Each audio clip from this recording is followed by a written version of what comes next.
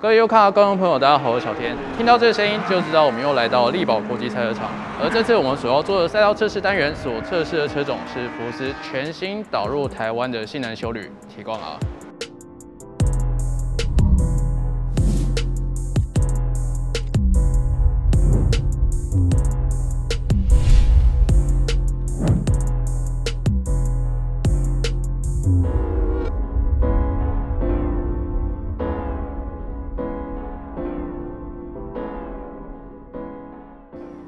说到提光，大家都知道这是普斯非常标准的一台中型修旅车，所以呢，它最注重的是家庭机能，包括它的后箱空间以及后座空间。而修旅的高度呢，它也适合在一般市区通勤的时候有一个非常不错的视野，上下车也都非常的方便。但是这并不代表说体光它会没有性能。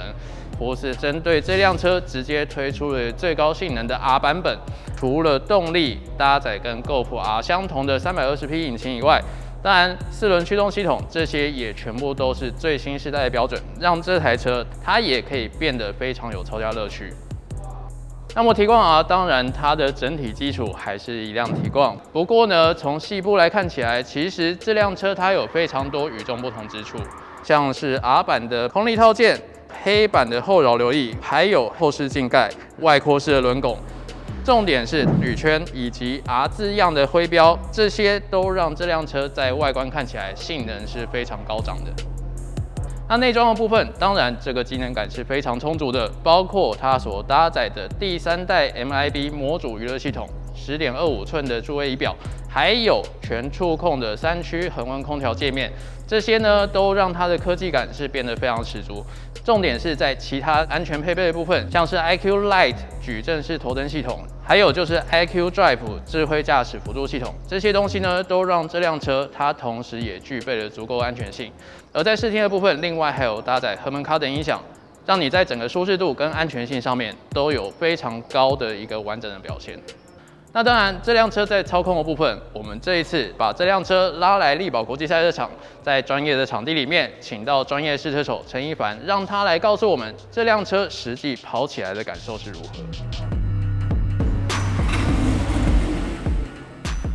那我刚刚经过一凡的测试之后呢，他做出了一个非常厉害的单圈，两分零四秒，我们就来问问看一凡他对于这台车的心得。那我刚刚你在开这台车的时候，你觉得你的第一印象感觉如何？第一个出去的感觉就是它的动力，其实动力来说是很不错的。我觉得它有一个贴背感在，可是它不是因为悬吊软的贴背感，它是真的动力扭力往前拉的那个感觉。再来就是进第一个弯的时候，因为没有碰过这台车，感觉动态就会比较模糊一点。不过它进去的稳定度，我觉得它是不错的，它不会侧倾很多，它也不会说哦推头啊滑。我觉得一转，它前面就跟着过。后轮你不会说，因为轴距很长，然后拖泥带水，后轮在摆正的速度其实也是有的。刹车的部分其实我蛮惊讶的，因为车子这么大、这么庞大、这么重，可能它的刹车并不会甩推很严重，大概 push 三四圈都还 OK。再加上这种天气这么热，所以其实它的刹车比一般可能小型修旅好很多。不然我们测其他车其实蛮多都会在第二圈就开始衰退。那当然，它在二三万就会考虑到很多的左右变换的动态。